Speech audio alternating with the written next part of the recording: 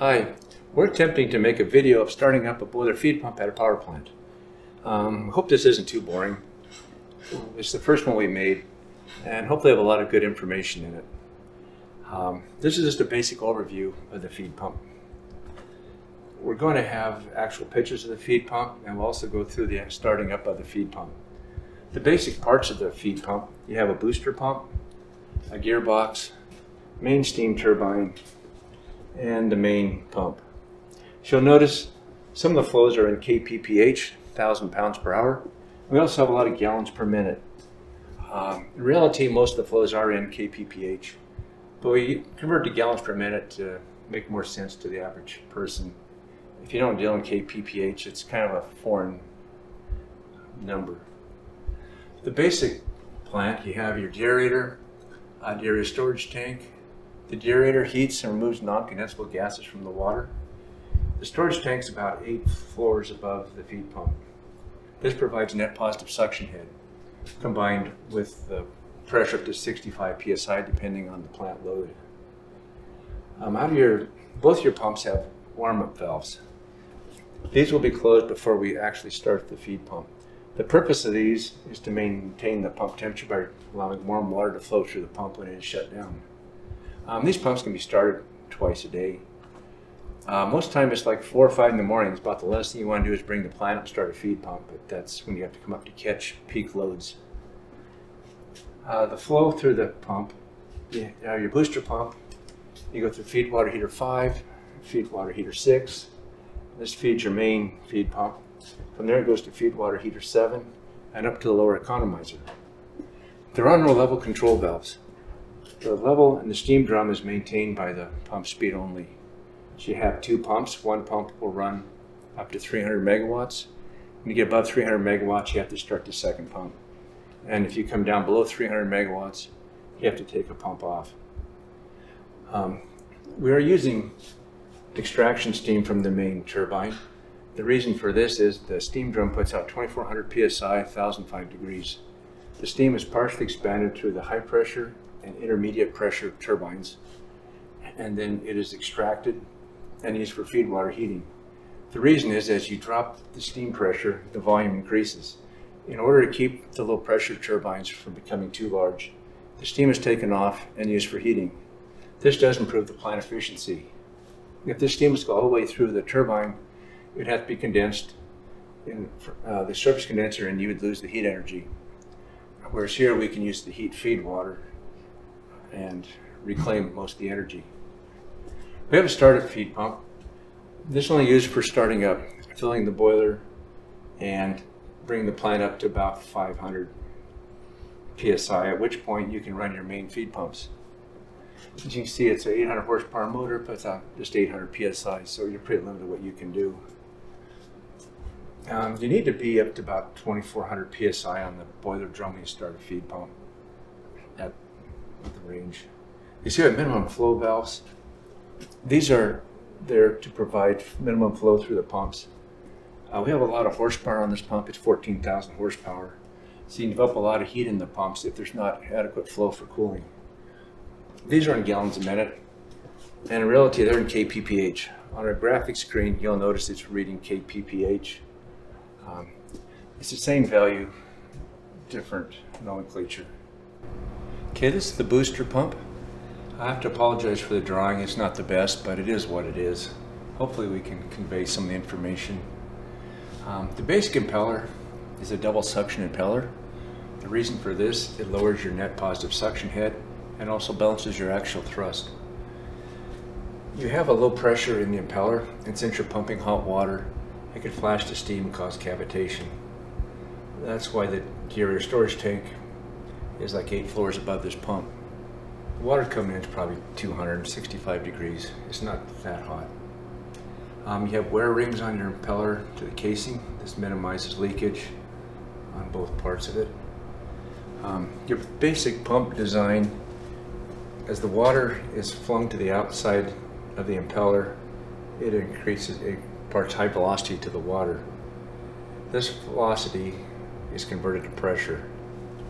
The horsepower of your impeller depends on the volume of water being moved. That's why pump startup, you'll shove the discharge valve partially closed to minimize the load on the motor. You can see where you have to have your recirc valves. As this pump spins in the casing, there's a lot of movement, a lot of friction, fluid friction that will increase the heat in the water. To seal the pump, some pumps will use packing, um, some use mechanical seals. This one uses a water type seal. These pumps take water from the condensate pump, which is about 100 degrees. Uh, comes into your gland. Then you have a drain temperature. Drain comes off. You want to maintain about 150 degrees drain temperature. You add more water. Um, they're kind of a labyrinth seal, fairly tight, so the water comes in. It get pressure drop across each notch in the seal. Um, your pump PSI is dependent on the diameter of the rotor, your impeller, and the speed it's traveling at. The higher velocity you get out here, the higher the pressure. Um, on the double volute part of this pump, you have a volute which converts your velocity to pressure. This high velocity water comes out here and starts slowing down and this gets converted to pressure. A double volute, you have a volute here and you have one here starting. As the pressure is built up in the volute, it creates a radial thrust on the shaft. By having a cut water here and a cut water here, it balances the radial thrust. You have high pressure here and high pressure here. So it balances out the pressure on the radial thrust on the pump. Especially higher um, pressure pumps sometimes use diffusers. You have a whole bunch of diffusers that spread the load or at least go a double volute. Okay, here's the steam turbine for our boiler feed pump. Um, if you're confused by this, don't worry, so are we. We probably have too much information on this and we'll try to muddle through this. Basically, it is a reaction turbine. turbine. Um, inlet pressure is 150 psi, it can be 600 degrees. It's getting its steam from the intermediate pressure turbine exhaust before it goes to low pressure turbines. The backup is the high pressure steam. It's coming off the boiler main steam line. It can be up to 2400 psi and 1005 degrees. This is normally used for startup. Um, you have 500 pounds boiler pressure, you can run your feed pump. The gland sealing steam on this turbine, the low, the vacuum side, you have to put steam in to prevent air in leakage. So you bring sealing steam in, part goes this way, whatever leaks out, and any air coming in you pull out to your gland steam condenser. This is under a slight vacuum. The pressure end, you have steam coming out here that can be used to seal the low pressure end, self-sealing, and any excess goes down to the gland steam condenser. Um, basically, a turbine converts heat energy to mechanical energy. Um, a lot of people think that's just the pressure, but it actually is the heat energy is getting converted. Coming out your high pressure turbine, you'll be 600 psi, about 600 degrees. It goes back to the boiler's reheat. They'll heat that to 1005 degrees, and that comes back into intermediate pressure turbine where that heat is extracted and dropped down to about 150 psi and about 600 degrees. Um, the bearings in this turbine, they're tilting pad journal bearings. The reason for that is better stability of the bearings and a better stability of the oil film. Um, your oil wedge is about a thousandth of an inch thick. Uh, depends on temperature. That's why temperature is so critical on bearings. If the oil is too hot, you have too thin a film. Too cold oil, you have too thick a film. They can create vibrations and problems on both ends. Too cold oil can actually be worse than too hot oil. Your oil removes the heat from the bearing. You have film shear, and you also have a lot of heat coming from the just the physical heat of the turbine. At 600 degrees here is going to transfer heat down the shaft. That's why you don't take oil off a turbine after you shut down to your temperatures are well below 300 degrees. Um, the control system, we're using electrohydraulic control. This is basically a hydraulic control system. It has 1600 psi to run it. All your valves are run from the hydraulics.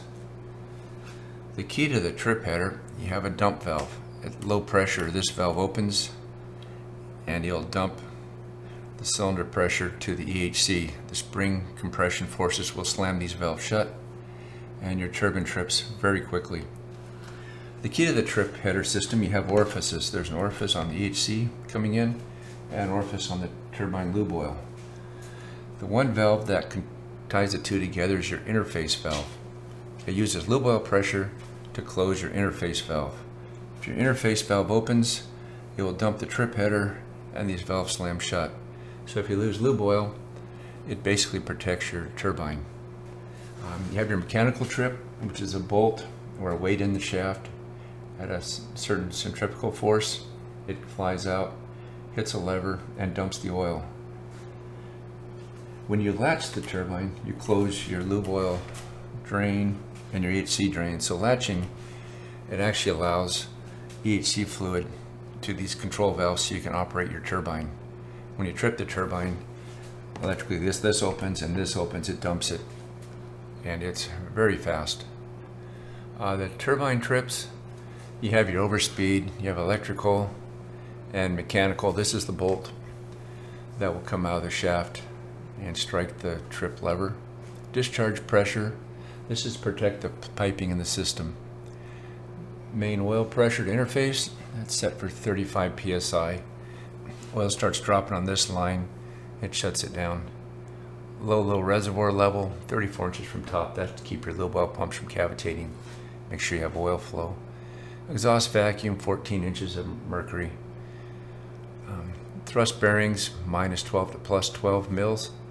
That's very important. The clearances in the turbine between the wheel and the reaction stage of between the wheel and the diaphragm are very tight. I've heard reports at 18 mils they can actually start hitting. Anytime you start up a turbine, you're watching your rotor position versus the casing. Uh, if you heat up a turbine quick, your rotor will grow faster than the casing and you can hit. And if you cool it down, your rotor will contract quicker. So how fast you heat up a large steam turbine is very critical. Bearing metal temperatures, 225, that's pretty standard. Um, the problem you have as this gets hot, Babbitt starts getting really soft at 300 degrees. It can start melting up about 400 degrees. So you're, you're without oil film, good oil flow, your Babbitt will get hot, start melting. The Babbitt's a tin-based metal. Um, it traps dirt, and in case you lose lubricating oil, it will protect the journal bearing if it does hit. Okay, it's time for show and tell now. This is a diaphragm stage or nozzle block for a steam turbine. As you can see, they're aerodynamically shaped. Uh, the steam comes in, and you create a high velocity jet leaving. Usually you want your steam about twice the speed of your wheel speed, turbine blades. Um, here's a turbine blade. you can see the root, this is what goes into the rotor, this part. It's kind of an aerodynamic shaped. It's probably more of an impulse stage. A lot of times you'll have impulse on the root and reaction in the end of the blades at low pressure turbines. Stellite strip has been soldered on to prevent erosion. Um, they're basically an airfoil, all your turbine blades. This is a Labyrinth steam seal. Uh, obviously did not come off this machine, it's a lot bigger but you can see it has the variations in height. Uh, the rotor would sit in here, the little raised parts. It creates a tortuous path for the steam so it's come up and down that drops your pressure across here. There's several different ways of sealing turbines nowadays. This is one of the older style, this works, but all this stuff, there's a lot of new technologies and a lot of different ways it's being done nowadays. This is probably actual blade off that feed pump turbine. It's kind of hard to see, but it's very curved. It's definitely a reaction blade. Uh, the big thing with turbines is trying to keep steam leakage between the stages. So we use a lot of sealing strips. Um, we showed we didn't really show the sealing strips on our one diagram diagram there, but the key is to keep steam leakage to a minimum when you're going through the turbine. Here's the main feed pump basic components. You have the barrel, you have the volute casing, you have the end caps. Um, the barrel is designed to withstand tensile forces So the discharge pressure is between the barrel and the volute casing. The volute casing is under compression. Uh, it can be thinner metal and it's easier to disassemble and work on. So the barrel takes most of the force. This part of the barrel has discharge pressure. This part of the barrel has suction pressure. From the video you'll see they have super bolts on the end holding on the head of it. You have a first stage impeller. This is a double suction to minimize net positive suction head. As the water coming in is 360 degrees, 500 psi. You have a second stage, a third stage. Over here we have the fourth and fifth stage. They're in opposed groups to balance the axial thrust. There's very little axial thrust on the first stage. Um, over here you have a booster stage. This takes the discharge from the fifth stage and pumps it up to provide water to the finish and division wall sprays. Um, some plants will call them temperators, we call them sprays. Wherever you work is going to have different terminology, so that's what you have to go by. Um, the main feed pump, it has five pump stages. You could do this with a single impeller, but the size would be impractical. So we've used five stages instead of one to accomplish the same effect. Just like a well pump, you add more stages to get the required lift and feet or the discharge pressure. The shutoff head on this pump is about 7,700 feet, which is pretty impressive. The seal on this pump uses water. Um, some pumps use packing, some use mechanical seal. This pump, it comes off your booster pump around 360 degrees. Part of the water flows into the pump suction. Part of the water will come here and go to the deaerator drain. This goes back to the deaerator. You have water from the condensate pump, flows this way along with this water. These go to the deaerator. This water is about 100 degrees. Any water that leaks off goes to a drain down to the gland collection tank, back to the hot well. Um, both ends of the pump have suction pressure, so the high pressure discharge is isolated from the seal part of the pump.